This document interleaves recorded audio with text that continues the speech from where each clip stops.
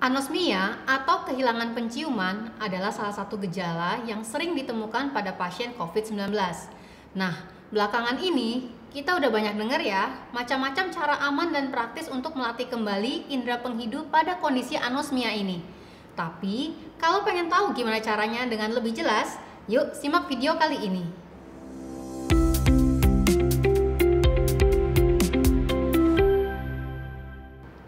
Halo dokter, saya Dr. Santi dari Alo Medika.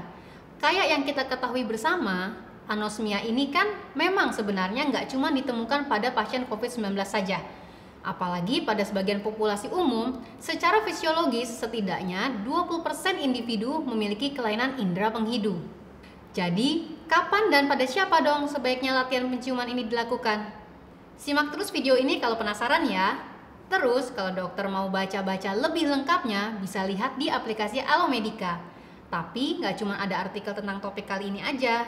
Di Alomedica tuh, ada ribuan informasi kedokteran yang bisa diakses dengan mudah melalui artikel, webinar, hingga workshop. Lewat Alomedica, dokter juga bisa dapetin e-sertifikat ber-SKPID yang bisa didownload kapan saja setelah mengikuti program yang ada di menu SKP online Alomedica.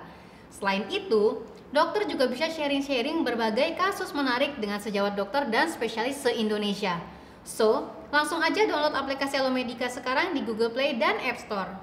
Balik ke pembahasan, pelatihan penciuman dikatakan lebih efektif pada individu yang lebih muda dibandingkan orang tua dan lebih efektif pada individu dengan disfungsi penciuman berat dibandingkan ringan.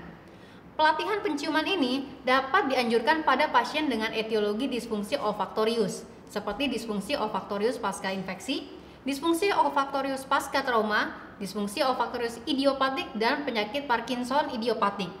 Nah, untuk disfungsi olfaktorius yang disebabkan oleh sinusitis kronis, dianjurkan untuk terapi pembedahan dulu ya.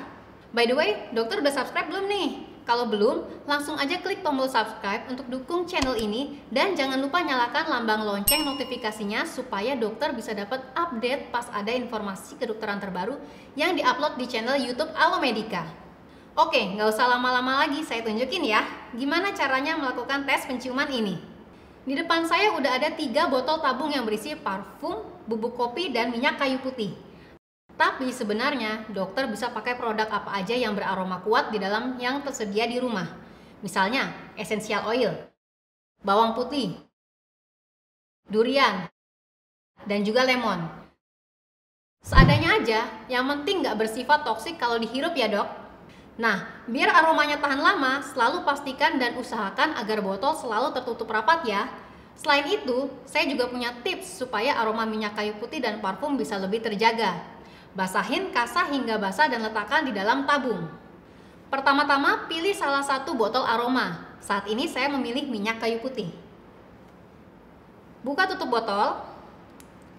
Letakkan di depan hidung dan hirup aroma dari tabung selama 20 hingga 30 detik sambil mengingat bau.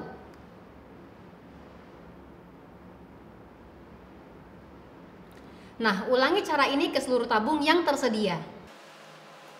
Kedua, pilih tabung lain. Saat ini saya memilih bubuk kopi. Buka tutup botol. Letakkan di depan hidung dan hirup aroma dari tabung selama 20 hingga 30 detik sambil mengingat bau. Yang ketiga, pilih tabung parfum. Buka botol, letakkan di depan hidung dan hirup dari tabung selama 20 detik sambil mengingat bau. Pelatihan penciuman ini dilakukan dua kali sehari, misalnya siang dan malam. Setidaknya 2-4 minggu untuk memicu regenerasi saraf penciuman dan neuroplastisitas otak. Nah, itu tadi penjelasan singkat mengenai cara pelatihan penciuman. Semoga bisa memperjelas latihan penciuman untuk membantu mengatasi anosmia ya dokter. Oke deh, terima kasih buat yang sudah menyaksikan video ini. Jangan lupa untuk like, comment, share, dan subscribe Alomedica ya. Sampai jumpa lagi. Jadi dokter Anda dalam genggaman. Salam Alomedica.